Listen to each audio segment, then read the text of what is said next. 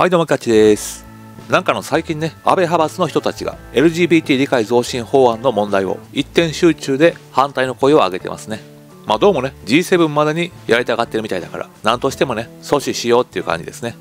反対派の人は LGBT 理解増進法案が日本の伝統的な家族観とか文化とかに影響を与えるということであとはね公金集中でまたねそういった施設がたくさんできちゃうんで税金が使われるからね、まあ、反対しろって形の訴えですね。でまあ超党派の議員がこの法案を提出をしていてそもそもね提出をしているのは自民党の稲田朋美議員なわけですね。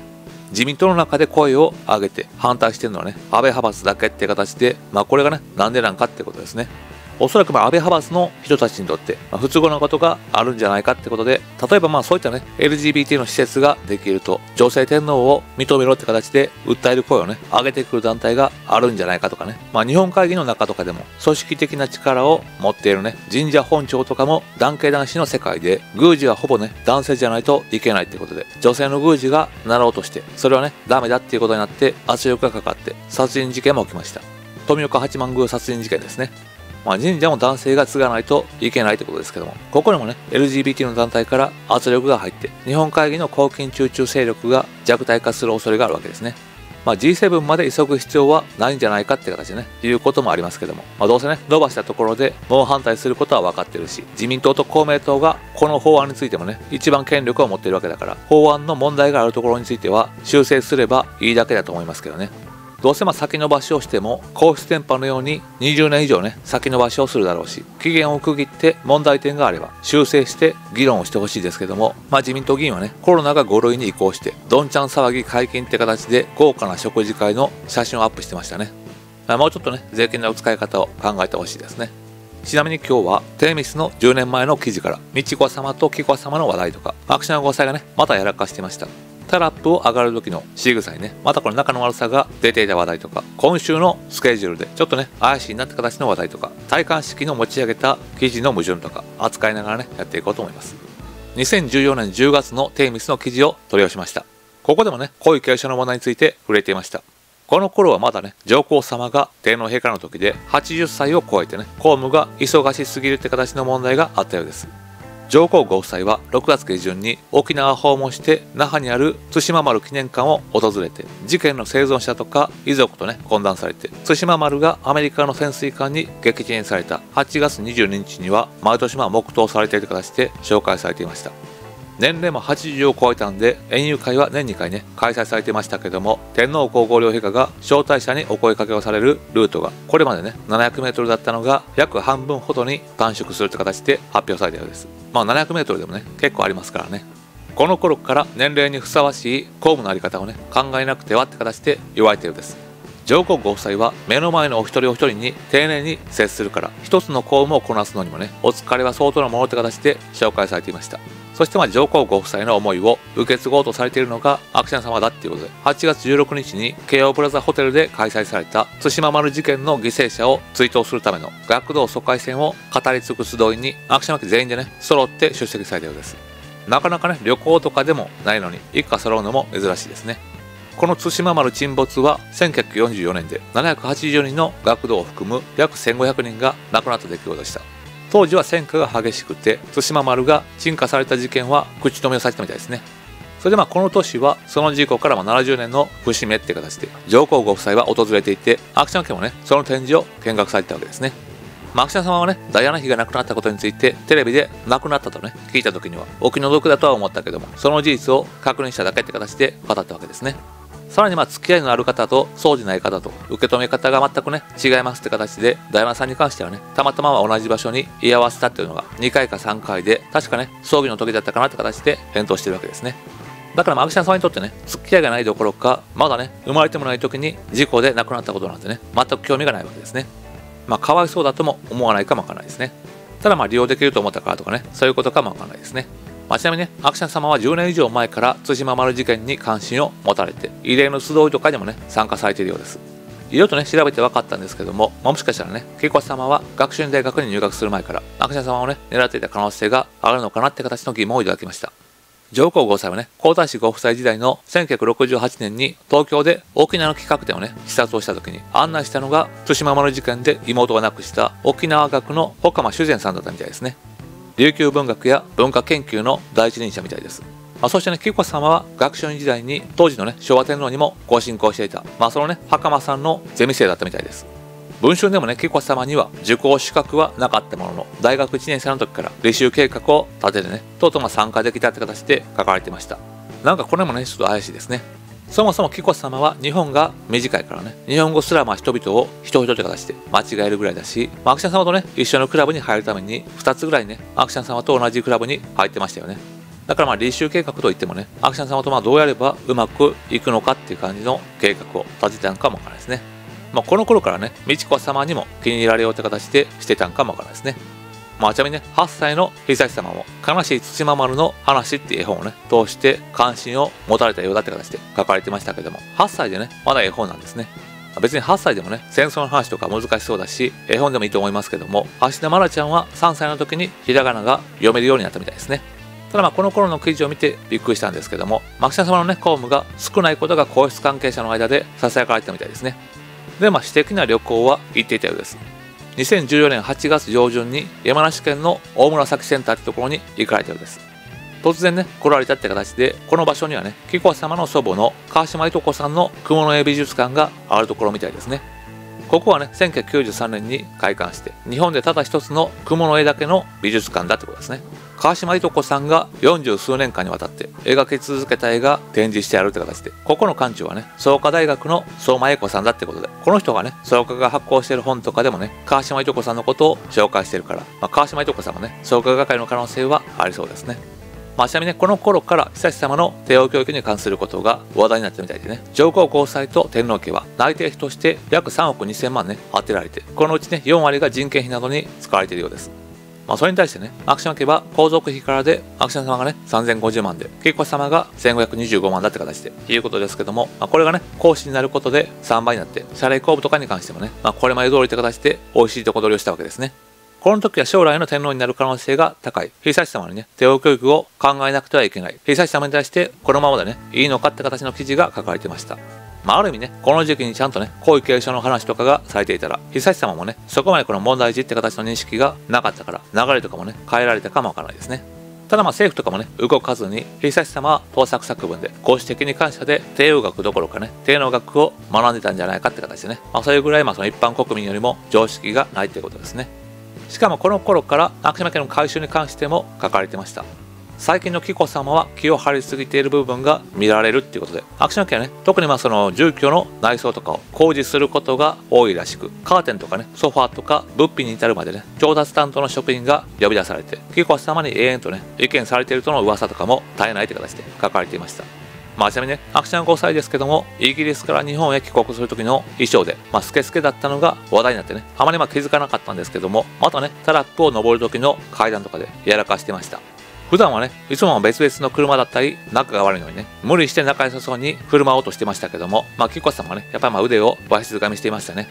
まあ、しかもね、アクション様がね、タラップの上まで登りきって、振り返った時にね、キコ様は、まあ、アクション様のね、腕をわしづかみのままだから、振り返るとね、キコ様もかなりまあ強引にね、振り返っていて、ちょっとまあダサかったですね。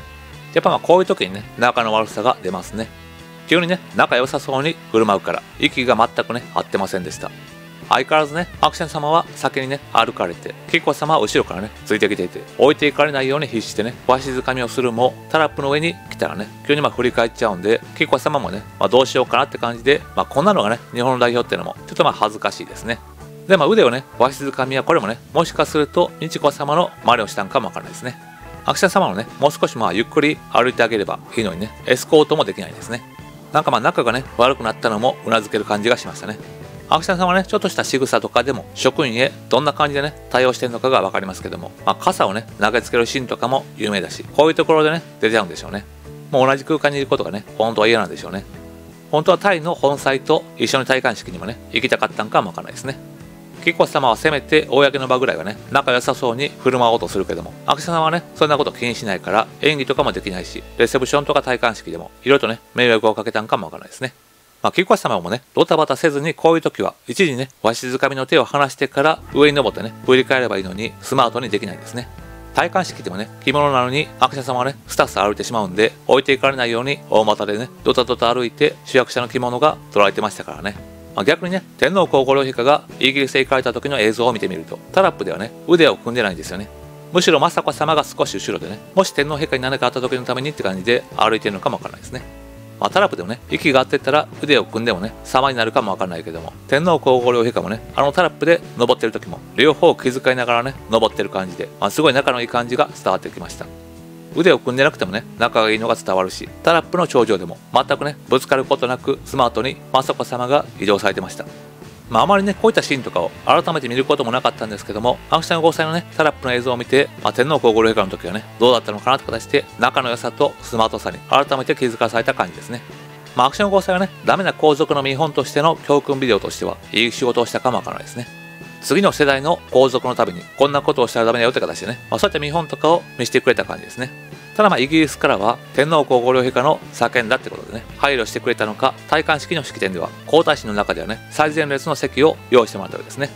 まあ、側近もねイギリス王室と皇室のね長い交流の歴史に配慮してくれたんじゃないかってことですね、まあ、各国の皇太子が集まる中で4年前にね皇嗣になったばかりのアクション様がね最前列ってことで本来であればね皇太子でもない皇嗣ですからね。アクション様はね次の天皇陛下が確定する皇太帝を断って皇嗣を選びましたよね。まあこの天皇陛下にね即位する気がないってことはたくさんのね命令で明かしていますけどもそれだけじゃなくて皇太帝になったら内定皇族になっちゃうんで謝礼公務ができなくなるわけですね。まあ、全てこの内定費で対応しないといけなくなりますけども、まあ、それがね嫌だからって形で皇嗣になったわけですね。まあ、皇嗣だったらね、皇族費も3倍に増えて、謝礼公務もこれまで通りね、もらえますよって形で、いいとこ取りの皇嗣を選んだわけでね、次の天皇陛下はね、確定していない皇位継承順位が暫定1位ってだけですね。まあ、戴冠式だけはね天皇陛下を立てて、まあ、皇太子の最前列の席を用意したっていうことで実際にはね歓迎されてないからイギリスにね到着をした時も結構ね世界的にも問題が多いて形で言われている。タイのワチラロンコン国王はねレッドカーペットでお出迎えしてアクション防災はね何もなかったですからね。しかもね迎える人も実質ね一人で。しかも無名の人がお出迎えですからね。ホテルもイギリス最高峰のクラリジッツに収穫できたのは天皇皇后両陛下のおかげですからね。本来だったらね、コロナとか大麻とかね、いろいろと疑惑がある中で入国をさせてもらっただけでも感謝しないといけないですからね。イギリス側ももしかしたらね、DNA 鑑定の証拠とかも、いざという時のためにね、入手しているかもわからないですね。今後もアクション様がね、即位したら、日本との交流は嫌だからね、何としても阻止してくるかもわからないですね。ただまあ日本の報道は思ったよりもね、アクション合裁に関することを報道してきませんでしたね。もっとも大々的にね、アクション5歳の話題を取り上げてくると思ったらね、戴冠式の話題は扱ったけども、そこまでね、アクション5歳のことは扱いませんでしたね。まあ映像とかもないしね、戴冠式とかレセプションの写真も英国大使館のツイートのね、画像とかを使ったりとかしてるぐらいだから、あまりまあ材料がなかったですね。チャールズ国王がポケットに手を入れながら、紀子様とね、話をしているシーンの写真とかぐらいだし、大々的にはね、報道できないでしょうね。まあ、キコ様のシースルーのスカートとかもそうだし、着物姿もね、専門家を読んだらね、あれでまあ着こなしがしっかりとしているって形で褒めれないですからね。まあ、むしろね、主役者ですねとか、衣装についてはね、褒める要素がないですよね。まあそれにね、イギリスに行った時の映像とか、日本に帰国する時のアクション合成もね、いろいろとね、やらかしていたし、レッドカーペットなしだし、あまりまあ大きく報道すると、天皇皇后両陛下とね、いい格好されちゃうんで、できなかったんでしょうね。まあ、ただね、エピソードに関してはまたね、嘘の持ち上げエピソードがこれからね、新聞とか週刊誌とかでいろいろ出てくるかもわからないですね。まあ、これだけね、連日のように、日本でもね、アクション権に関する言葉がトレンドに上がって、火に油を注いでしまうかもわからないですけどね。まあ、ちなみに、ね、今週のスケジュールが発表されてましたけども、今週はね、菊越様が京都に行かれるようですね。なんかこの医療関係の総会に出席をするようですけども、これもね、泊まりがけで13日と14日に行かれるようですね。そこでね、驚いたんですけども、実はね、上皇ご夫妻も京都なんですよね。上皇ご夫妻は14日から5日間、私的な旅行で京都と奈良を行かれますけども、14日はね、京都だから、紀子様と同じく京都にいるわけですね。まあ、紀子様のことだから、上皇ご夫妻に会いに行く可能性が高いかもわからないですね。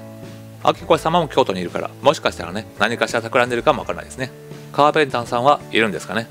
まあ最近ではね、迂回の問題とかもあるけども、なんかやっぱりね、京都に行くのは怪しいですね。いるとまあ悪巧みとかをしてそうですね。